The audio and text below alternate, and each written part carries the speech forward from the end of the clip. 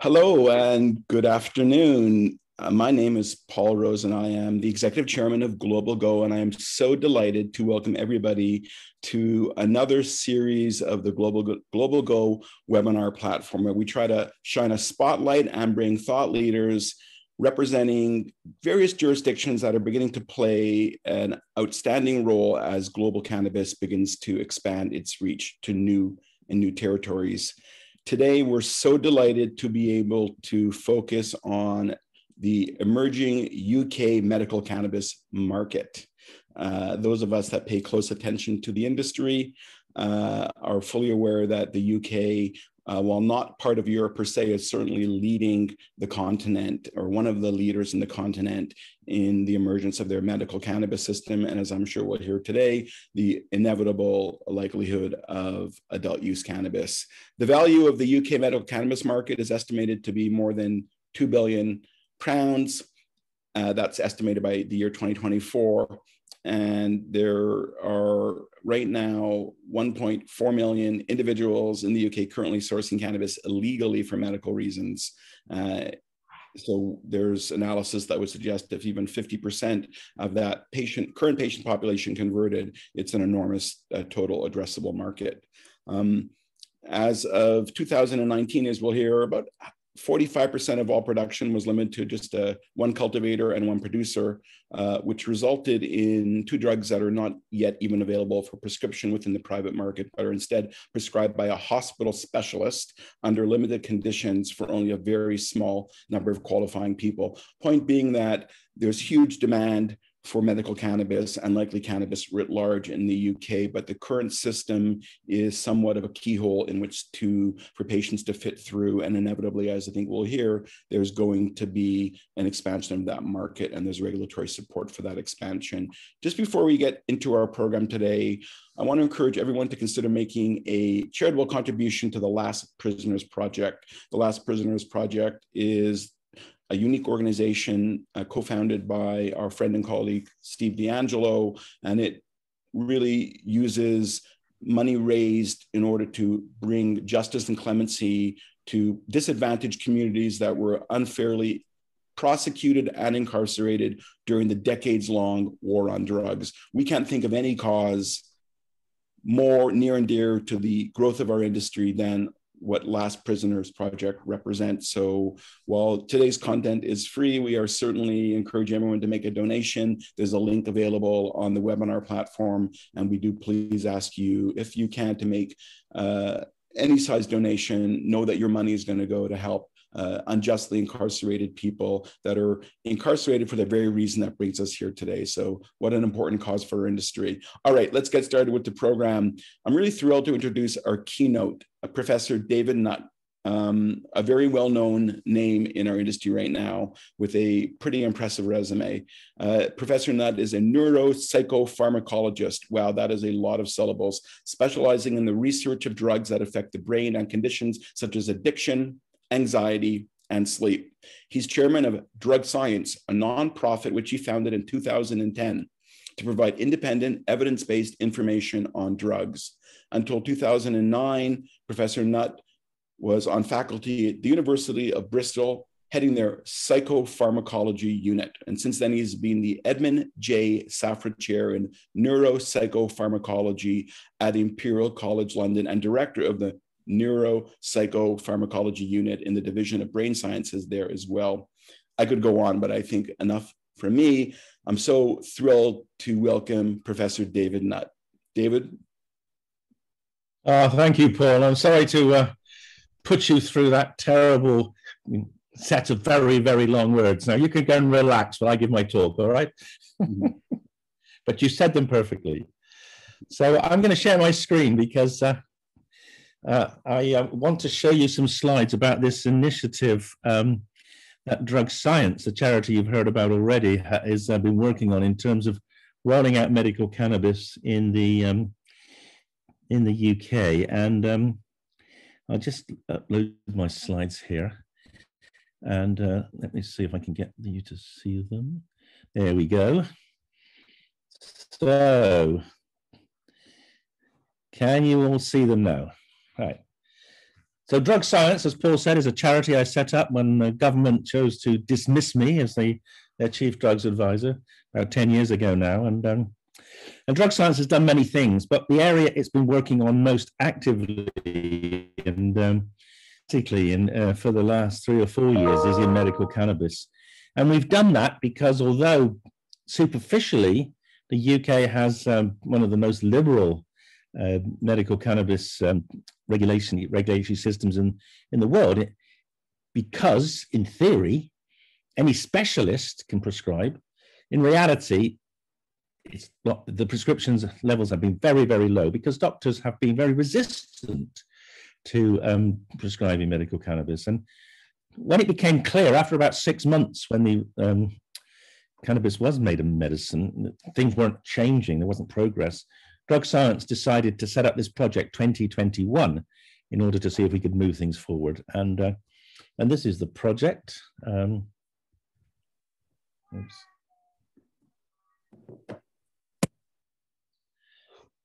So it's certainly the UK's biggest real world registry. It's a multi stakeholder partnership. We have academics, industry, clinicians, and patients involved. And the vision is to collect a huge body of evidence on the effectiveness and the tolerability of medical cannabis. And tolerability is really important. we discovered that doctors who don't want to prescribe, and that's the majority, can always fall back on some old claim oh, if you take cannabis, you'll be psychotic. If you take cannabis, you'll get dependent. And we don't believe that in the clinical arena uh, with medical cannabis, that's true, but we're going to have to prove it so we're collecting data on tolerability and adverse effects at the same time as we're collecting data on clinical outputs. It's a registry that is run by Drug Science, so it's a it's going to be the data is all going to be in the public domain, and the 20 as part of the 2021 and it was falling off. So Unbelievable. like whole sorry um oh was that was that we hoped to get 20,000 patients into the project before the end. So I've talked a bit about this, but our, I just want to point out that our um, uh, so sourcing of cannabis is all from very many different parts of the globe. It's, uh, it's a bit of a global project as well, and they're all licensed producers.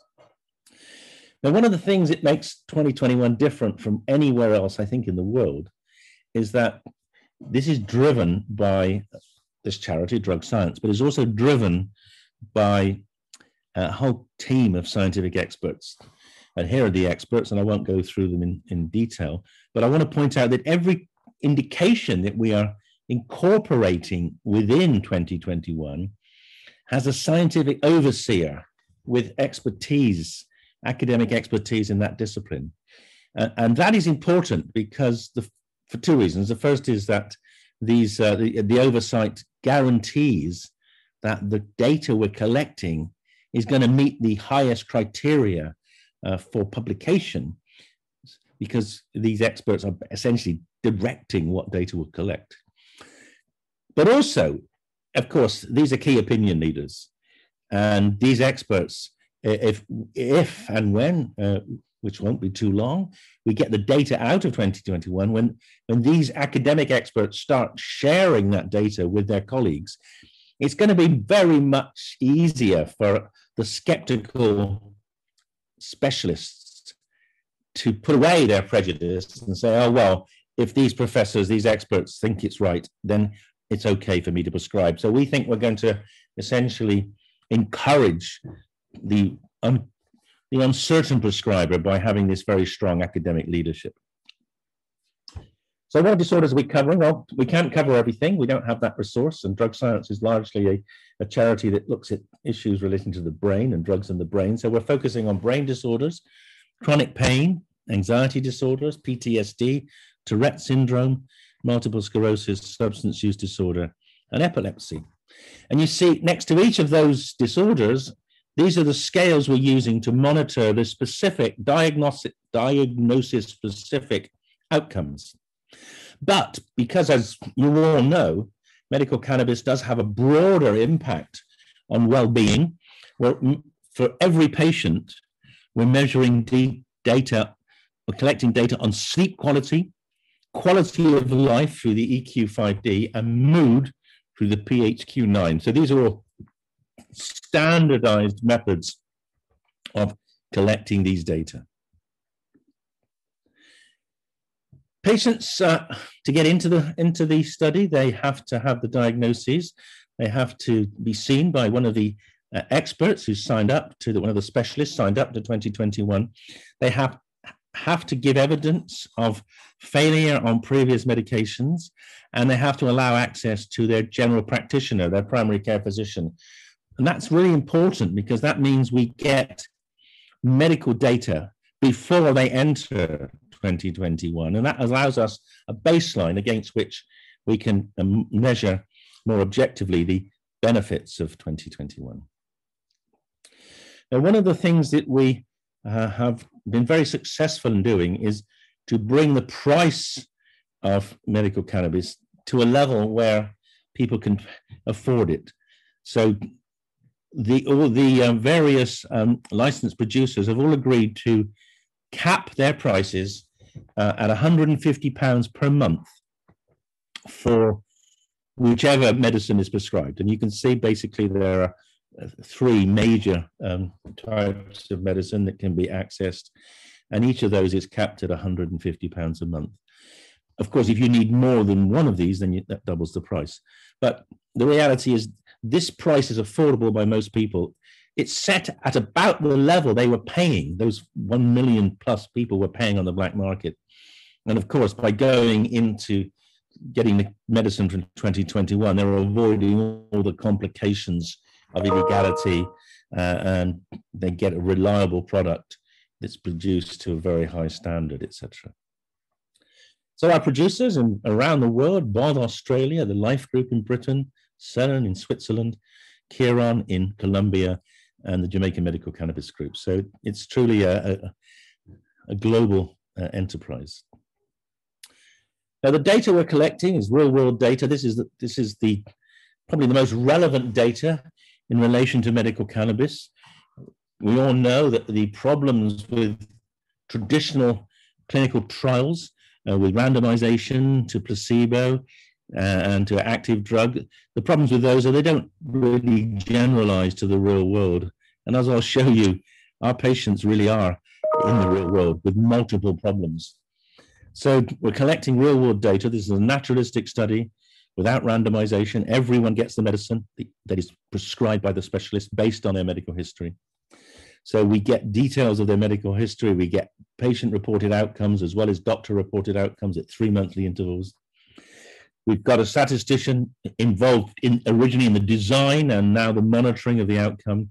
And we can therefore make the best statistical inferences. We can impute missing data when it occurs. And as I said before, drug science is the curator of the data. So what go, what we do uh, with it is determined by us and our academic board, not by anyone else.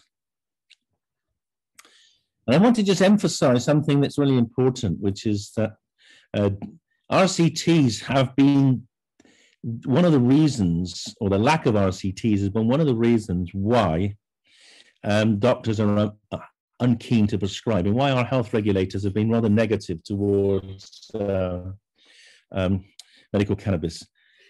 Which is rather sad because the previous head of our regulatory authority, Michael Rawlins, made it very clear over 10 years ago in a, in a, a very influential paper that RCTs are definitely not the sole. And they're also, he said, not even the best way of assessing the effectiveness of medication. And some examples here are given here. It's impossible with rare diseases, and we're finding this with children with rare epilepsies. There aren't enough children in Britain, probably in the world, to actually do a, a proper RCT. RCTs are unnecessary where treatments produce really dramatic benefits. The, the investment in RCTs is disproportionate for the for the benefit. Trials are cost millions and millions of pounds, and and uh, that's a huge disincentive. Most companies, particularly cannabis companies, can afford them, and the generalizability is very limited. People with comorbidity are excluded from RCTs, and yet, as I'll show you, comorbidity is extremely common in the population benefiting from medical cannabis. So here, is the latest data. The end of August 2021, we now have nearly 1,500 patients with data in 2021. You can see about 64% were male, the average age about 40 years, but the range from 18 to 84. And this is really quite an interesting histogram because it shows there's a lot of disability in young people and they're turning to medical cannabis for this problem. So, which is, uh, we weren't expecting it to be quite uh, as, as um, heavily loaded with young people.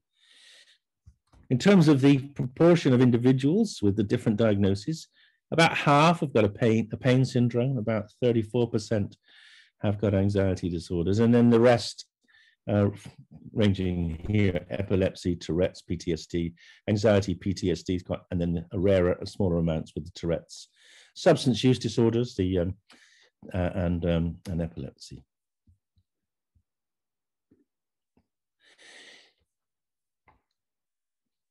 What was surprising to us was the extent of multimorbidity, the number of other conditions that our patients present with. In fact, multimorbidity is the norm. Only about 8% of patients do not have some comorbid disorder. Over a quarter have two or three comorbid disorders, and 20% have six or more. So this is an enormous burden. And these are people that would not be part of traditional clinical trials. And you can see the most common comorbidity, stress, insomnia, depression, back and neck problems, and anxiety. And we're able, through this um, open inventory, this, uh, this uh, ongoing um, effectiveness study, to rate all the, the effect of medical cannabis on all these other conditions as well. So this is, means it's going to be an extremely rich source of data. And I want to just show you the one of the most remarkable um, find first findings. So the, we use this um, European scale, the EQ5D, for measuring the quality of life, and that measures life quality up with 100 being a perfect, the maximal life quality you can have. And the normative data for the UK household is about 86 out of 100. The mean for our population was 49. So they're, they're extremely low in terms of quality of life. What about depression? So the PHQ-9 measures mood and depression. And again, we're seeing that the vast majority of our subjects have some depressive symptoms, with uh, two thirds have moderate or severe depression. And this is, uh, of course, extremely disabling for them. And uh, we haven't got UK data on the population, but in, we have equivalent data from Germany, where about only 1.3% of the population have a high depression score. And in T21, it's 50%. So this is again something we're going to be very interested in seeing if this is remediated by medical cannabis. What about sleep? Well, it's a good job we're measuring sleep, isn't it? Because 63% report sleep patterns interfere with their daily activities. 40% report problems getting off to sleep, primary insomnia. 39% report problems staying asleep. And 35% report waking up too early, which of course is a classic symptom of depression. So this is supports the ratings of depression we're seeing. So what have we got so far? Well, we've got follow-up data now on 466 individuals. And look down here. The EQ5D, the quality of life, has gone in these 466 from a, frighteningly low score of 47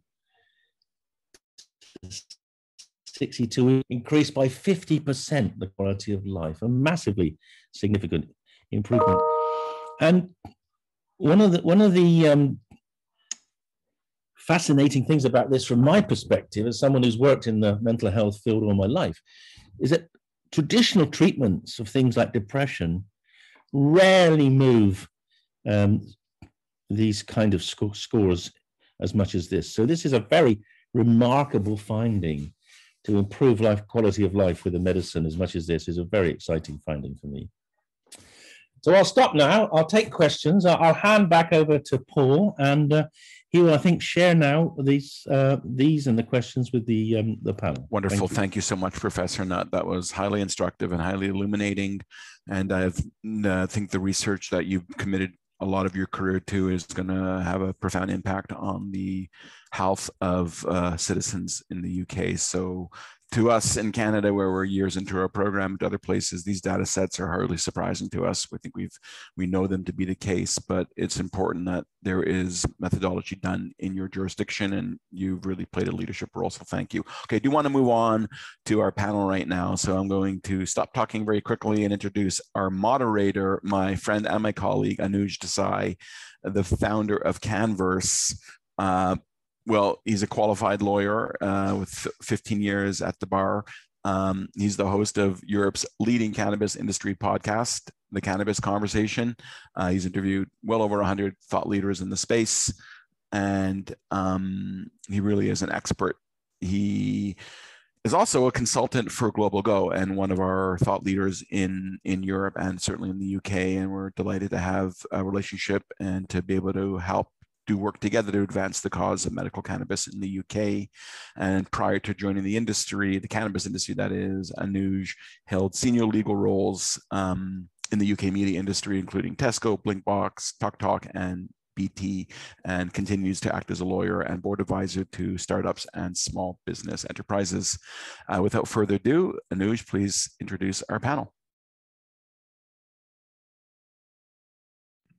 Good old mute. Um, thank you, Paul, and thank you, Professor Nutt. Um, welcome, everybody. Um, I'm really pleased to be moderating this panel today on UK medical cannabis. We have a very high quality lineup. Uh, I'm glad I don't have to pronounce any complicated words like Paul had to. Uh, joining me today are Dr. Anne Katrin Schlag, for, who is the head of research for drug science, uh, Harry Guliani, who's General Manager of Columbia Care International, uh, Nick Pateras, who is Managing Director of Europe for Materia, and Ed McDermott, who is co-founder of EMMAC Life Sciences and CEO of Seed Innovations.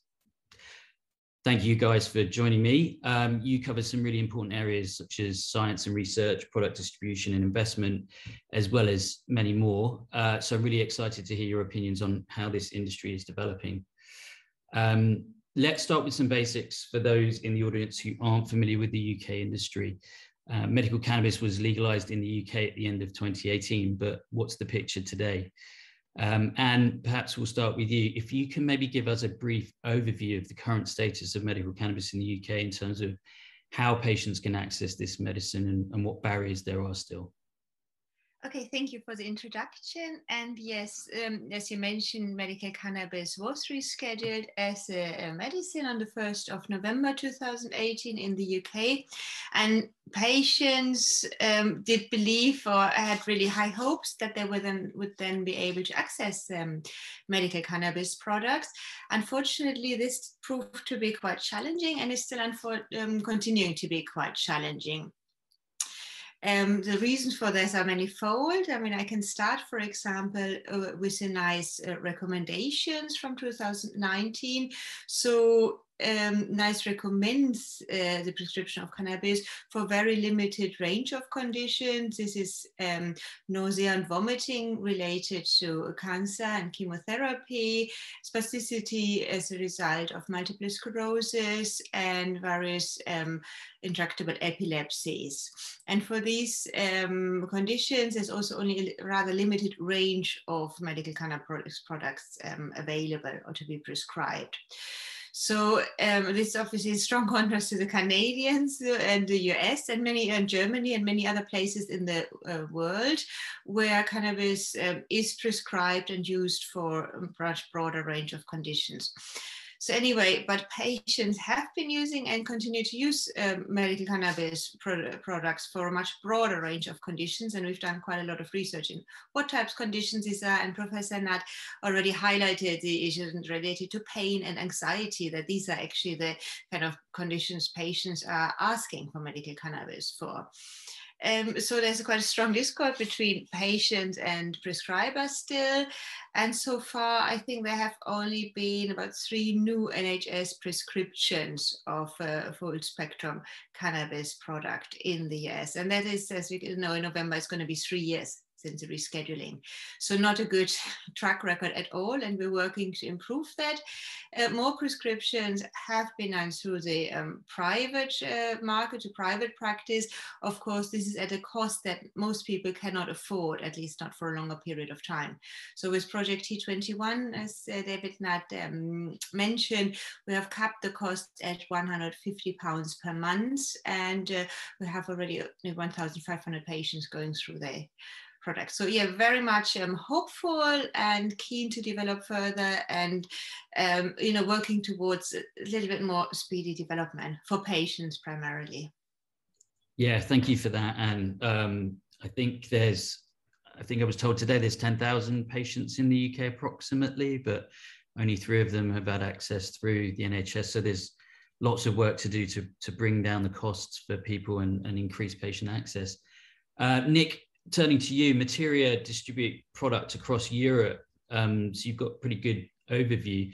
How do you think things in the UK stack up against the other European countries in terms of patient access? And what are the things that we can learn from those other jurisdictions? Yeah, for sure. Thanks, Anuj. Um, and thanks, Global Go, for, for having us today. It's a, it's a pleasure to join the other panelists. So, how does the UK stack up? I think uh, quite poorly, unfortunately. So if you compare the framework that was implemented, um, as Anne mentioned, in uh, would have been November of 2018 to the framework that was only implemented 18 months prior in Germany, March of 17. It's completely different. I usually think of patient access across three key pillars. So there's the actual accessibility, there's the affordability, and the availability. So if I compare to Germany, I know your, your question is really asking about Europe, but Germany is really the, the leading market. So the best case study against which to compare. If you look at those three pieces, so on accessibility, the framework allows any general practitioner in Germany to prescribe at their own discretion. So you don't have the, the, the layers of approvals that you have in the UK. And then probably because of the fact that Germany, I think, has passed a point of critical mass it's not that challenging to find a cannabis positive doctor somewhere across uh, Germany. Whereas in the UK, we hear a lot from patients who still struggle to find anyone who's even willing to entertain that conversation. So, from an accessibility standpoint, that's the first piece. And that may also be a reflection, I'll just add, on the proliferation of cannabis clinics or friendly clinics um, across Germany, whereas there's still a very limited number uh, in the UK. Uh, the second piece is on affordability. So I think in on this pillar, you kind of have to parse it apart between the private patients and the public patients. Um, private pay, patients um, is really all that there exists in the UK anyway. Uh, apples to apples comparison to the private patients in Germany, the affordability is relatively the same. So I think Project 21 and others are looking to anchor to around a, a five pound uh, per gram price point, as we saw uh, Professor Nutt mention earlier through T21, a private patient in Germany is paying between seven and 14 euros roughly uh, per gram. So it's not it's not too dissimilar. Where the, the, the big discrepancy exists, though, is on the public side. The majority of cannabis patients in Germany have their prescriptions uh, reimbursed by the statutory health insurance insurers. So they're not paying for it out of pocket. It is effectively paid for by the government. And so obviously that, that is not a system uh, that exists uh, in the UK, or at least practically speaking, we haven't seen that. So that's that that's the biggest uh, discrepancy on the affordability. And then the last piece is accessibility, or sorry, um, availability. So there are still many patients who report that their product of choice, the product for which they see the most efficacy, is regularly out of stock, or they have to wait for a prolonged period of time after their prescription to actually receive the product. In Germany, that's not as much the case. So because the German market is bigger, the supply chain is just much more, that much more developed. There's a lot more inventory kept in country, um, and because there are several more distribution points, you're going to be have, you're going to have an easier time fulfilling the demand through the fact there's a, a wider distribution ecosystem. So those are kind of the the main differences. Overall, I think the UK unfortunately is quite far behind a market like Germany, so and falling behind with every subsequent year. So I think there's a, a good deal of uh, opportunity to catch up. Yeah, thank you, Nick. Yeah, uh, Germany definitely is leading the way in Europe, and, and there is a significant gap. And it's sad to hear that it seems to be widening. So hopefully, we have some more meaningful reforms uh, over here. Um, Harry, going to you. Um, uh, as Paul mentioned, I think at the very beginning, there's estimated 1.4 million people using cannabis illegally um, as medicine. Um, how do you think we can bring this sort of large patient population over from the league over to the legal market? Hi, Noosh. Thanks. Um, I mean, it's a good question. Um, I don't think it's the right question because actually, um, if you look at the data from the British Medical Journal, there are 28 million people in the UK with chronic pain. Um, that's a much bigger number. And if we look at our role in medical cannabis, we're trying to treat patients who have problems, right? Um, now, though 1.4 million, many of them will will fall into that group, or they might come from, they might have other um, symptoms that they're trying to treat. So, I'd actually say it's probably the wrong question. Um, but on the 1.4 million, you know, I think I think we've got to be realistic. Not everybody is going to transition. I think in mature markets where you've got very low barriers to entry, there's still, um, you know, there's still thriving black market. Um, I think the people at Global Go will know better than I do. And you know, Canada has a has a thriving black market. There's homegrown. There's um, you know, there are all sorts of other things. But I guess the for the patients that that want to access market, I think Nick's actually outlined a you know quite a lot of the, the factors. For me, it's cost, but the cost isn't just the medication; it's also the cost of accessing um, a prescription, so a consultation with a doctor or whoever else, um, and that's not immaterial. I think um, you know there, has been a lot of work done to try and reduce that. So that's you know that's that's momentum. Convenience you know if you think about uh, you know if you think about this it is it is really not an easy thing for a patient to get hold of. Um, and then the last thing i guess again nick mentioned is is around sort of the product. You know is it the right product? Is it the right range? Is it there consistently and with the right quality? And i think in the uk it's actually very difficult for the medical market to compete with the illicit market on the basis that, um, as Nick suggested, you know, it, it's challenging to bring product into the country. It's arduous, and there are a lot of people working really hard um, on the distribution side of things.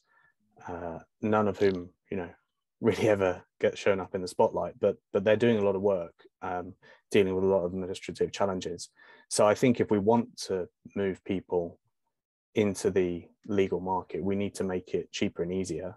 Um, my view, personal view, is things like GP prescribing um, or doctors being allowed to prescribe private prescriptions, but using the normal NHS access would would be a huge would be a huge win. Um, and we see in Canada and the US, people are willing to pay out of their own pocket for for this and, and for other private medication in the UK too. So that would be my that would be my view on it. Thank you. I can always rely on you to tell me I'm wrong, Harry. Thank you for that. Um, yeah, no, uh, getting GPs to prescribe is definitely a good step forward. Um, for those that didn't know, you have to go through a specialist, which is a is, is another barrier getting in the way.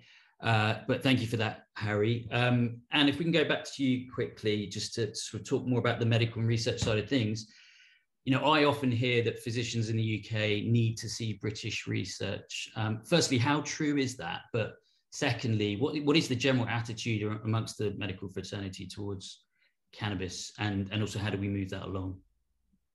Um, well, I, you know, it is certainly um, if there's a reputation that uh, the need is for British uh, research or for uh, English pub research published in English language, and it is known that NICE, when drawing up their guidelines, um, some of the um, trials which they were looking um, to to make their guidelines in German, for example, were excluded because they were in German. So it, it, yeah, there, there probably is some truth to it. To what extent, I don't know. you can't judge on it.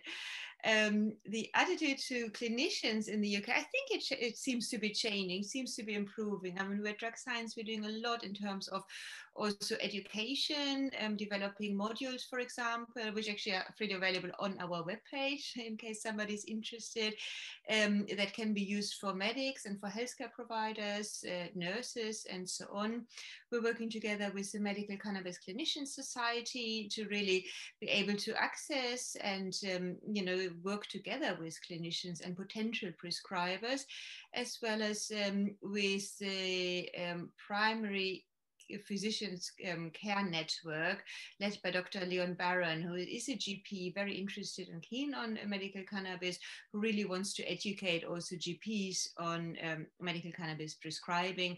With kind of the rationale behind that is that a lot of the conditions that are treatable with medical cannabis, um, such as a chronic pain related things, um, psychiatric um, conditions, and so on, are actually conditions where patients would see their um, GP in the first instance. They wouldn't go immediately to a specialist. So, um, yeah, there's there's a lot of work that's being done in that um, area to develop um, things further, to progress um, things, and uh, uh, hopefully it is developing in a, a, positive way. There is still a lot of stigma attached, as others mentioned, a lot of kind of association in terms of the risk of cannabis, um, kind of an overlap from recreational uses and the perception, near negative perceptions of that, which of course also GPs and doctors have been involved in you know, if uh, problematic uh, people, problematic cannabis users came to them as well. So that's kind of the image they often still have. And uh,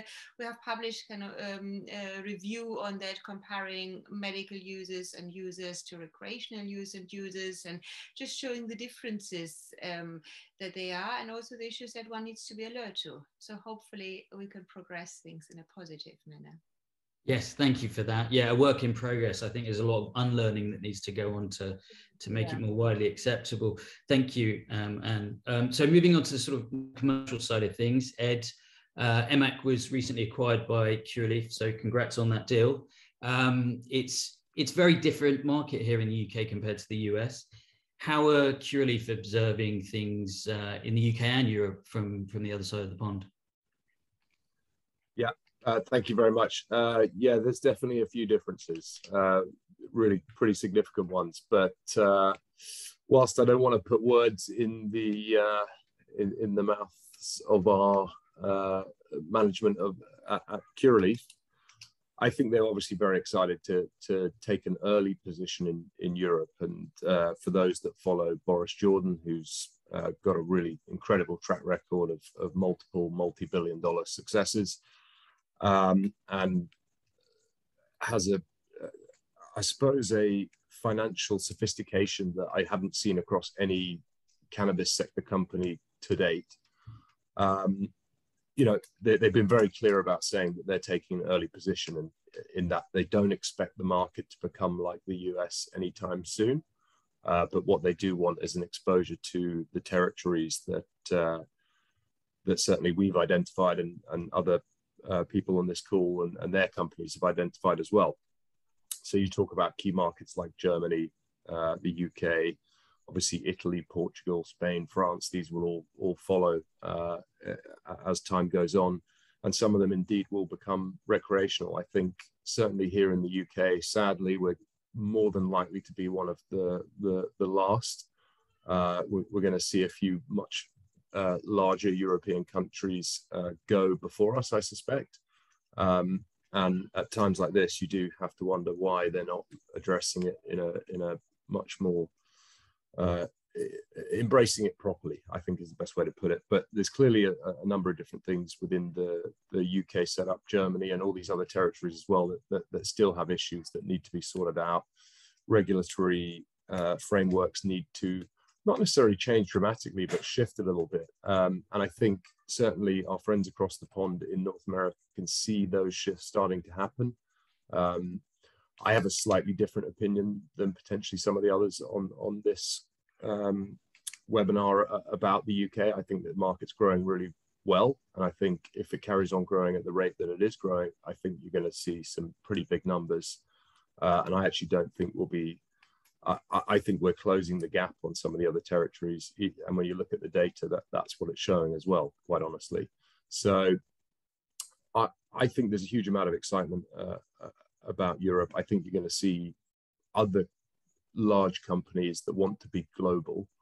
Uh, you know, it's one thing to just be a really big company in the US or Canada, but you know, companies with real ambition, they want to have their domestic markets nailed, but they also want to control and, and own what could potentially in the future, and this may be some years yet, but bigger markets than than the US. You know, driven by population size, uh, wealth, age, etc. So, I think it's going to be very very interesting indeed.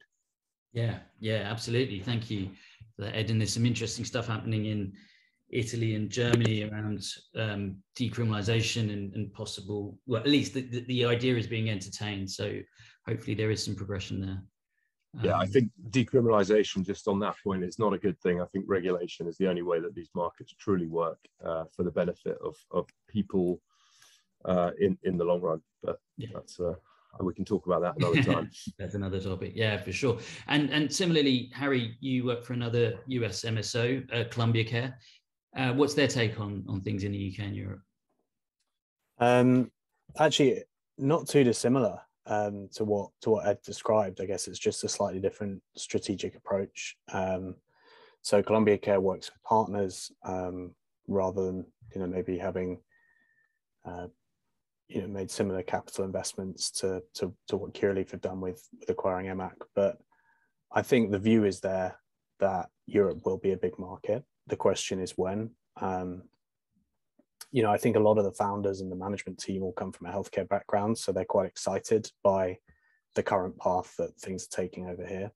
Um, uh, but at the same time, I, I, also suspect there are people in the management that are actually a, a, little bit pleased that it's, you know, it's it's not going at the pace that it's it's traveling at in the US because, um, you know, they're all full tilt right now as it is.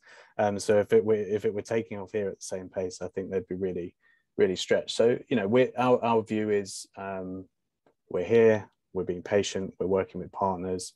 Um, we are optimistic about it. We're not, um, uh, but but we're sort of we're also quite realistic, I think. And and none of this adoption is is is necessarily too too slow um, or too different in terms of the rate of, of, of pickup from what from what we're seeing in the US in some of the states. So um, maybe similar outlook, slightly different approach. Um, but ultimately, I think I think there's optimism here for for Europe in the medium term. And and actually, as it happens, I, I'm pretty bullish about the UK. Um, uh, I know it's you know the numbers are different in Germany, but I do I agree with Ed actually that I think there there's a there's a framework and there's some momentum here that um, you know we could actually see this this change uh, more rapidly, and that that's partly down to how the how the products are treated from a regulatory point of view. Um, so yeah, actually not too dissimilar at all. Great, great, great to hear positive spin on it as well. Um, Ed, back to you. Um, you know, you also uh, wear an investment hat. You uh, CEO of Seed Innovations, which is a listed investment company. Um, what what sort of innovative and interesting companies are you seeing coming out of the UK, and what, what sort of subsectors are looking interesting? Um, without wishing to sound at all biased, because obviously my involvement with, with EMMAC, it, it's somewhat disappointing if I'm honest. Um, that there's an enormous amount of companies, and you know, whilst we'd rather see every deck five times rather than not at all, there are a lot of companies and a lot of management teams uh, who are sort of maybe quite late to the party who are actually I think there's a view that there's really dumb money in cannabis, which is which is slightly disappointing to be honest. Um, we get a lot of decks where people come to us with you know insane valuations based on pro, you know projects that haven't got anywhere, realistically have no chance of getting anywhere, um, and you know you sort of feel a little bit robbed when these folk uh, get on a call and, and start telling you how fantastic it, they're, they're going to do and uh, you know they're going to raise 5 million and dominate the world um, you know every now and again though we do see some really interesting stuff. The uk hasn't been fantastic. You know uk born companies sh- shall we say haven't been too fantastic from what i've seen um, as yet. And in many cases the either they've been poorly advised or they haven't taken the time to fully understand the the regulatory pathway here. Um, but I think you know, th- there's a, a, lot of people coming at us still with sort of cultivation plays that are yet to be built, maybe finished by 2025. It's just not interesting um, at all at this point in time. Most of them, uh, I suspect, will blow up. Um, and but no one's really come uh, at us yet with anything really exciting in terms of IP. No one's really got into, you know, true uh, development. There's, there's sort of three D's that I that I like to look at, which is uh, distribution, development, and data. Uh, and and no one's really crushing that from what I can see in a kind of new and innovative way. We've seen that in other territories like Germany, um, where we've seen you know a good sort of handful of companies completely go against the model that that has sort of been widely accepted there and have real success and that that's encouraging but we haven't really seen that or certainly i haven't seen that and i don't profess to necessarily see every single opportunity uh, that's looking for investment. But given um, my background, the board's background, and our investors' background in in cannabis, having had a, a number of successful exits and and made some uh, investments that were sort of somewhat more medium term on, um, we do expect to see most of uh, uh, of the opportunities that are going around. There's still a big misunderstanding as well between uh, the different verticals, i.e., CBD, pharma, and medical cannabis as we know it. And then, of course, rec, we, we can't look at at all here as a, as a UK company that's regulated and, and listed here. Uh, but yeah, a lot of people come come to us, you know, with a C- CBD over the counter wellness uh, product business, expecting to get medical cannabis multiples on on their uh, uh, on their next round, and it's just there's just a complete lack of understanding, and and I think we as as professionals in the industry need to still do more on that because I think the sort of general public uh, and investing public don't really totally understand the difference uh, between the verticals, and I think that's something that we all need to do. Uh, Lord knows we're trying, but um, I think it will just make it a much more investable, bankable industry here uh, when that clarity ha- has been provided and and you know these kind of platforms are exactly the place to do that. Um, but ultimately we all have to work together to make sure that more and more uh, capital comes into the industry. I think we're going to see uh, potentially a bit of a lean period like we had in the first uh, maybe seven or eight months of 2020 where really it was kind of tumbleweed um, but then it really picked up with uh, uh, the Biden-Harris uh, uh administration coming in in the U.S. That that was a kind of catalyst that the industry really needed. Uh, so I think it's going to be an interesting time. I think a lot of uh, opportunities or a lot of product, a lot of decks that I've seen going round and around and around over the last sort of year or so will hopefully fall away, and that you know, it, it, I'd rather see investors' money going into into opportunities that currently exist, have already walked the walk to some degree, have a product, have a distribution uh, channel, um, are still developing products, understand what the patient wants, understand what the prescriber feels comfortable uh, prescribing, and I think those are some of the sort of key obvious logical steps to take. But you know trying to do carbon copies uh, of of existing companies uh, that have already had you know tens and tens of millions of pounds and you know hundreds and hundreds of thousands of man hours put into them um, with with sort of small friends and family equity raises. Don't get me wrong, I admire it, but it, I, I don't necessarily think it's. I, think you're going to see a lot of money going to money heaven um, if, uh, if if those sort of things keep going on. So, you know, support the companies I think that are really walking the walk. Um, there's always room for innovation in in any uh, in, in, any industry, and I do hope we see a lot more of it. But at the moment, it's sort of slightly disappointing. I'm not seeing uh, that much of it. So sorry not to give a really positive answer there, but um, you know that, that's what we that's what we want to see. You know, as, as investors yeah. um, and people who've you know been in uh, operating in the sector. You know, we're in a good place to kind of tell when something comes along that that looks really interesting, and then you can kind of sanity check it. Um, you know regulators are actually quite approachable uh, here in the UK and in some of the other European territories as well. So it's not that difficult to find out whether your model just might work um, if it's going to benefit patients and you know be more palatable for uh, prescribers because those are the kind of two key elements of this and that's the only way you get anything to work ultimately the rest of it is development, taking out, taking and utilizing meaningful data uh, that, that helps the market in general, uh, helps patients and again, clinicians. Uh, the whole thing just keeps getting bigger and bigger. Um, so yeah, that's what we're, we're hoping to see more of. Thanks, Ed. Good dose of reality there. Um, but hopefully, um, some inspiration for entrepreneurs out there if you if you're looking to raise some money. Um, some good feedback from Ed there. Uh, very conscious of time, so I'm just going to the last question I'm going to ask to the panel before I go to questions from the audience is to Nick. Um, to continue the investment theme, um, how have you observed the opening up of the, the main public markets in the UK to cannabis stocks, and and how do you think it's going to benefit the industry in the UK?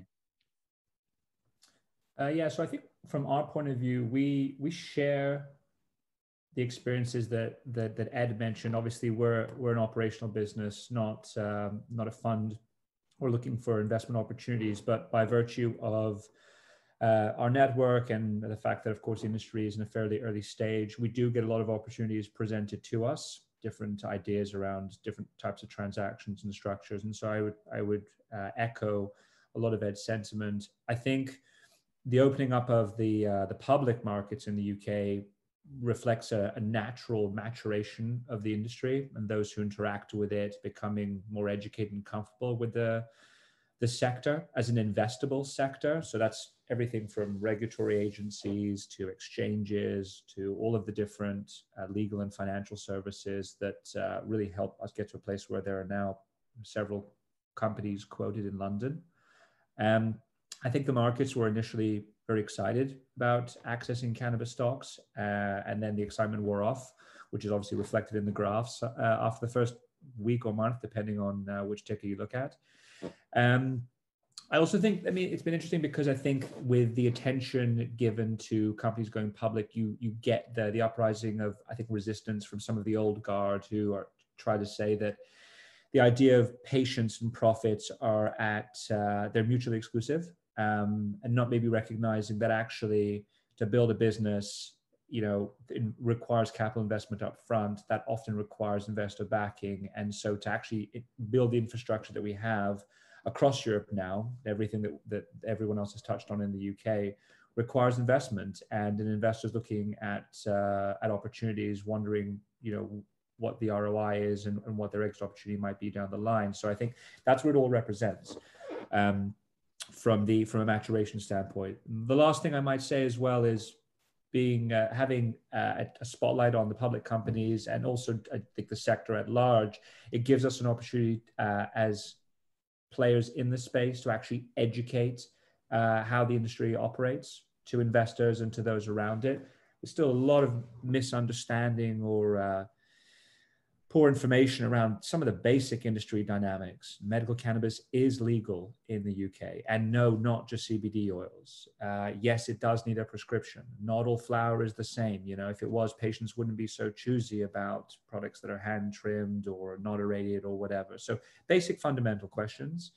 Um, having the platform that um, that public markets really offer is really key for the industry in terms of everything, and that's pushing the industry forward in whole totality, not just the idea that it's you know uh, for the purposes of pursuing exits or profits, but really for building industry infrastructure. So it's good as a whole, I think. Brilliant. Education all round is needed uh, from all angles in this industry. Um, uh, we're really kind of quite close to the edge now. So I'm just going to ask the Global Go team if we've got time for a one question from the audience. I knew I actually think Ed was just going to chime in there as well. Oh, sorry, Ed, do you want to? You have time. No, no, it's not. It's not a problem. It's not a problem. Carry on. Next. next okay. Cool. Uh, thank you, Paul. um, Professor Nutt, if you're um, if you're still on the line, um, we've had a hi. Uh, thank you for your uh, brilliant talk earlier. Um, one of the audiences asked, when will the uh, Project Twenty21 data have all been collected, and when will you be able to sort of disclose analysis, etc.? Well, no, the plan is to go for as long as we can, and because um, we're, do, we're doing two things. We've already published a paper on it. We've already, you know, a, a paper came out in March this May this year, showing how, describing the project and also with the first pieces of data. we're currently working, Anna is working on um, the first output of the pain patients, and that'll be quite a few hundred pain patients. So that's, that's uh, they're just in the process of coding that data. So we're planning to put out paper up, paper after paper when each of the particular diagnoses reaches a sufficient number of um, of patients to actually be meaningful. So um, how long? How long? Maybe the other the other way of looking at the question is how long will the um, producers continue to support us? Well, they've all signed up to next year, so that means we'll probably have four, maybe hopefully three to four thousand patients through by then. And so yeah, it's uh, and the more patients, the richer the data. Yeah, so it's an ongoing process, and and yeah. but it's a, a, meaningful data set for sure. Yes, it's. Uh, I mean, I think it, certainly in the UK, it's going to carry a lot of weight. Yeah, fantastic, fantastic. Um, we, we're just coming up to seven in the UK, so I'm going to hand it over to you, Paul, if that's all right. It, it is quite a all right, although I personally uh, could have kept listening for a while. Um, anyone that knows me knows I'm a total geek for this stuff. Um, the guy keeping a nine-year daily log of the important headlines, but really focusing on these emerging economies. So I think there's uh, obviously a lot of work to be done, uh, and a lot of it done at a at a regulatory level. But uh, the entrepreneurship and the thought leadership is second to none, and that is going to serve the patients and ultimately the entrepreneurs really well. I hope that everyone uh, that attended today found it to be as stimulating and as illuminating as I did. If you did, which I'm sure you did, again, I ask you to consider making a donation to Last Prisoners Project. Uh, help someone get out of jail uh, for the very stuff that we're so excited about. So I want to thank our sponsors, CannaMerx, I think the cannabis industry's premier brokerage network for the buying and selling of regulated product, ArcView, Zuber Lawler, and CFN Media Group. Until next time, I'm Paul Rosen, your intrepid host, and I want to thank all the content providers for their uh, insights uh, and their availability. And I want to thank our engaged audience. If we couldn't get to your questions, I'm quite sorry. I'm sure any of the panelists can be reached on LinkedIn or email and would love to hear from you. Until next time, uh, what do we say? Cheer, cheer. All right. Thank you. Thank you. Bye.